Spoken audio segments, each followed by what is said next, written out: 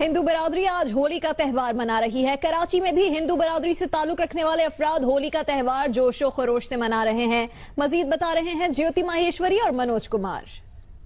जी, इस वक्त मैं मौजूद हूँ कराची में, वाकई श्री स्वामीनारायण मंदिर में, जहाँ पर खुशी तौर पर हिंदू बरादरी अपना मजहबी त्यौहार होली बड़े जोश और खरोश से मना रहे हैं। यहाँ पर बच्चे, बड़े खवातीन हर कोई आए हुए हैं और बड़े अ, रंगों का इजहार करे एक दूसरे को कलर लगा रहे इस वक्त मेरे साथ मेरे साथी रिपोर्टर मनोज कुमार मौजूद है। आइए उनसे पूछते हैं कि होली क्यों मनाई जाती है? जी मनोज बताइए।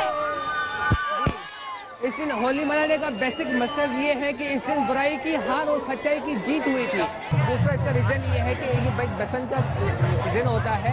इस दिन किसान अपनी फ़सलें काटते हैं और उसकी अच्छी जो है उस दुआ करते हैं कि ज़्यादा प्रोग्रेस हो उसमें। लोगों का यही कहना